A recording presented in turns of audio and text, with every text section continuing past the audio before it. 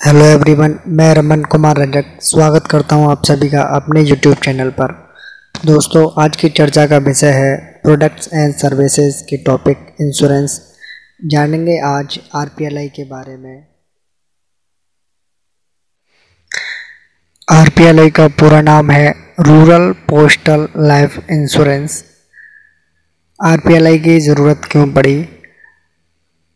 सन उन्नीस सौ तिरानवे में बीमा क्षेत्रों में सुधार के लिए मल्होत्रा कमेटी की सिफारिशों पर आरपीएलआई की शुरुआत हुई।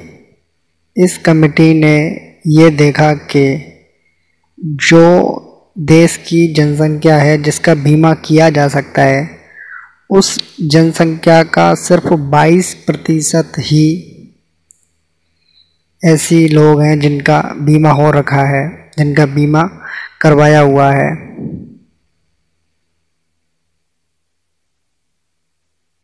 मल्होत्रा कमेटी ने इस बात को भी माना कि गाँवों में जो ब्रांच पोस्ट मास्टर्स हैं, उन पर लोग विश्वास करते हैं। इसलिए इस सुझाव का भी, इस सुझाव को भी रखा गया कि गाँवों में ब्रांच पोस्ट मास्टरों के ज़रिए आरपीएलआई की सुविधा लोगों को दी जाए। मल्होत्रा कमेटी की सिफारिशों पर सरकार ने 24 मार्च उन्नीस से गाँवों के एरियाज़ को कवर करने के लिए, उनको बीमा सुविधा देने के लिए rural postal life insurance RPLI की शुरुआत की। आरपीएलआई का जो प्राइम ऑब्जेक्टिव था, वो ग्रामीण क्षेत्रों में हर व्यक्ति के लिए बीमा सुविधा देना था। इसके अंतर्गत पिछड़े वर्ग के लोग जो बीकर सेक्शंस थे वुमेंस वर्कर थी, जो गाँवों में काम करती हैं। और बीमा सुविधाएँ हर क्षेत्र में फैलाने के लिए आरपीएलआई की शुरुआत की गई। 31 मार्च 2017 तक 146 लाख से ज़्यादा आरपीएलआई की पॉलिसीज़ है। 146 लाख से भी ज़्यादा लोगों ने आरपीएलआई के तहत बीमा करवा रखा है। अब जानते हैं कि इसके लिए योग्य कौन है, आरपीएलआई कौन करवा सकता है, किसके लिए आरपीएलआई की सुविधा है।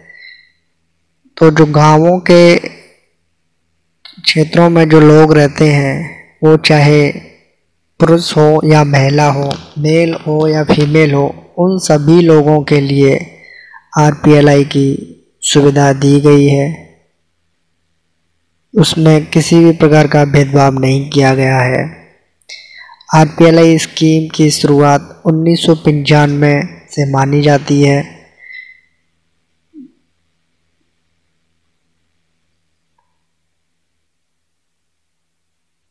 अब जानते हैं कि आरपीएलआई कितने प्रकार की होती है।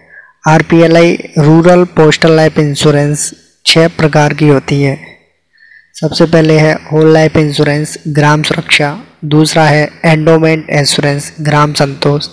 तीसरा है convertible whole life insurance Gram Suvidha. चौथा है anticipated endowment insurance Gram Sumangal. पांचवा है टेन ईयर आरपीएलआई ग्राम प्रिय, छठवा है चिल्ड्रन पॉलिसी बाल जीवन बीमा।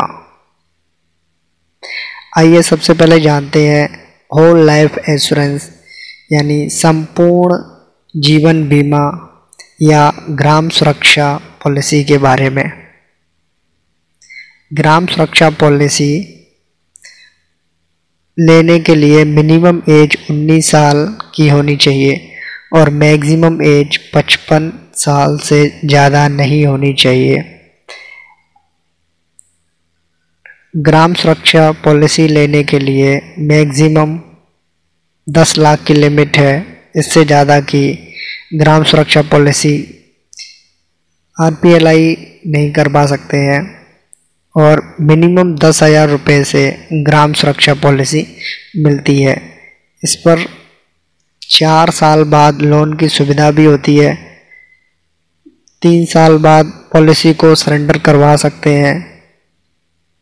ये स्कीम 80 साल की एज होने से पहले उस व्यक्ति को या किसी कारणवश मृत्यु होने पर उनके नॉमिनी को पेमेंट किया जाता है। दूसरे प्रकार की पॉलिसी है एंडोमेंट एश्योरेंस ग्राम संतोष। मियादी बीमा जिसे कहते हैं, इस स्कीम के अंडर मैच्योरिटी एज है पैंतीस साल, चालीस साल, पैंतालीस साल, पचपन साल पचपन साल, अट्ठावन साल और साठ साल। यानी कोई व्यक्ति है वो अगर बीस साल का है और वो बीमा करवाना चाहता है तो वो कम से कम पैंतीस साल की उम्र तक, कम से कम पैंतीस साल की उम्र तक, यानी पंद्रह साल के लिए ग्राम संतोष पॉलिसी खरीदेगा।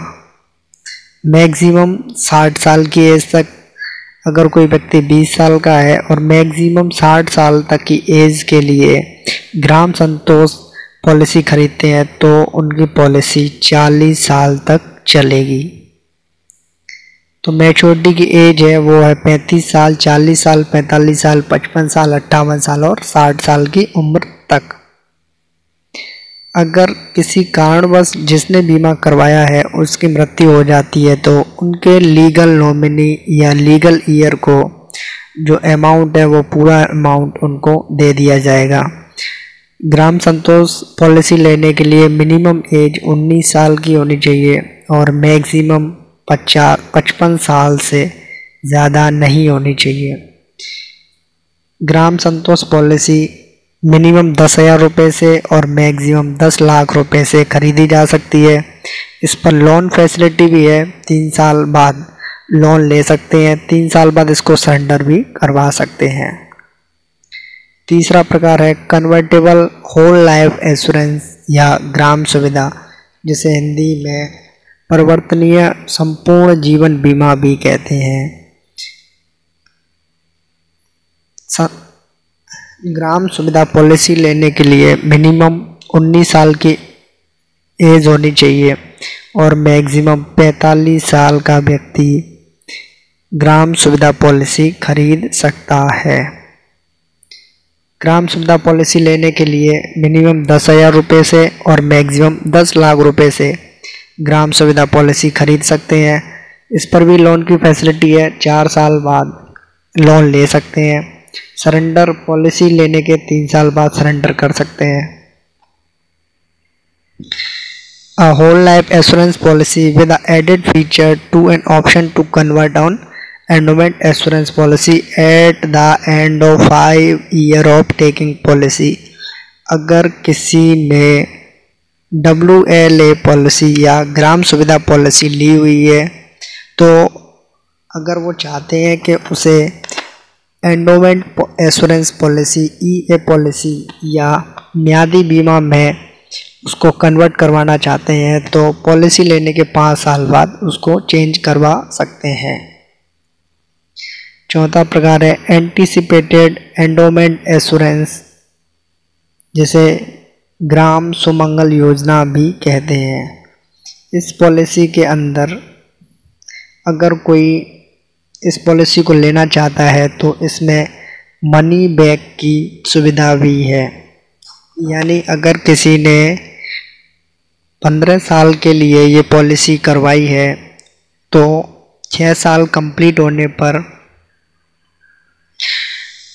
मैच्योरिटी बोनस का बीस परसेंट, नौ साल बाद बीस परसेंट और अगले बारह साल तक बीस परसेंट। यानी कि अगर किसी ने पॉलिसी 2000 की सन में ली हुई है या 2020 में ली हुई है तो छः साल बाद 2026 होने पर वो बीस परसेंट मनी बैक हो जाएगा उनका पैसा। फिर दो हज़ार उनतीस में, दो हज़ार उनतीस में फिर उनका बीस परसेंट हो जाएगा, फिर दो हज़ार बत्तीस में बीस परसेंट हो जाएगा। इस प्रकार से तीन बार बीस परसेंट बीस परसेंट बीस परसेंट के हिसाब से साठ परसेंट पैसा उनको मनी बैक हो जाएगा और चालीस परसेंट जो पैसा उनका बचा है वो उनको मैच्योरिटी के टाइम पर मिल जाएगा। पंद्रह साल पूरे होने पर मिल जाएगा। अगर किसी ने वही बीस साल के लिए ये पॉलिसी ली हुई है तो आठ साल बाद बीस परसेंट, बारह साल बाद बीस परसेंट और सोलह साल बाद बीस परसेंट, इस तरीके से साठ परसेंट पैसा यहाँ मिल जाएगा उनको। और जो बकाया चालीस परसेंट पैसा है वो बीस साल पूरे होने पर उनको मिल जाएगा। इस पॉलिसी को लेने के लिए मिनिमम एज उन्नीस साल है और मैक्सिमम में वो चालीस साल की उम्र है। अगर कोई बीस साल के लिए इस पॉलिसी को लेना चाहता है, अगर किसी को पंद्रह साल के लिए पॉलिसी लेनी है तो पैंतालीस साल तक की एज भी एज वाला व्यक्ति भी इस पॉलिसी को ले सकता है। इस पॉलिसी को मैक्सिमम दस लाख रुपए से ले सकते हैं। इस पॉलिसी में मनी बैक की सुविधा है।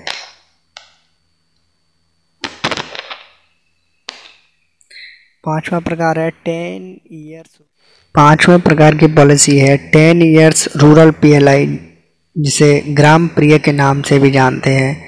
ये एक short term money back policy है। इस इस पॉलिसी के अंदर भी कुछ समय अंतराल बाद पैसा वापस मिलता है। इसे 10 साल के लिए ले सकते हैं।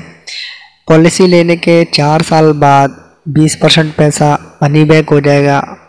उसके तीन साल बाद, यानी सात साल पूरे होने पर फिर से 20 परसेंट पैसा मिल जाएगा। और 10 साल बाद, यानी अगले तीन साल बाद फिर से 60 परसेंट जो पैसा बकाया, जो बचा हुआ है, वो सारा मिल जाएगा। यानी पॉलिसी लेने के चार साल बाद बीस परसेंट, पॉलिसी को सात साल पूरा होने पर बीस परसेंट, इस तरीके से चालीस परसेंट पेमेंट यहाँ मिल जाएगा। और जो बकाया साठ परसेंट का जो पेमेंट है, वो दस साल पूरे होने पर पॉलिसी को, वो सारा पैसा मिल जाएगा। ग्राम प्रिय पॉलिसी लेने के लिए मिनिमम एज बीस साल होनी चाहिए और मैक्सिमम एज है वो पैंतालीस साल से ज़्यादा नहीं होनी चाहिए। ग्राम प्रिय पॉलिसी लेने के लिए जो मिनिमम लिमिट है वो दस हज़ार रुपये से खरीद सकते हैं और मैक्सिमम की लिमिट है दस लाख रुपए। इससे ज़्यादा की पॉलिसी ग्राम प्रिय पॉलिसी खरीदी नहीं जा सकती है। छठवें प्रकार की पॉलिसी है, चिल्ड्रन पॉलिसी, जिसे बाल जीवन बीमा भी कहते हैं। इस स्कीम के अंदर जो पेरेंट्स हैं, उनके मैक्सिमम दो बच्चों के लिए ये पॉलिसी दी जाती है। उन बच्चों की उम्र पाँच से बीस साल के बीच होनी चाहिए। यानी पाँच साल से छोटा नहीं होना चाहिए और बीस साल से बच्चा बड़ा नहीं होना चाहिए। इस पॉलिसी को लेने के लिए मैक्सिमम लिमिट है एक लाख रुपए की। इससे ज़्यादा की पॉलिसी नहीं मिलती है। और जो पॉलिसी लेना चाहते हैं, जिन बच्चों की पॉलिसी लेना चाहते हैं, उन पेरेंट्स की एज भी 45 साल से ज़्यादा की नहीं होनी चाहिए। प्रीमियम को जमा करने की जो ज़िम्मेदारी है, वो पेरेंट्स की ही है।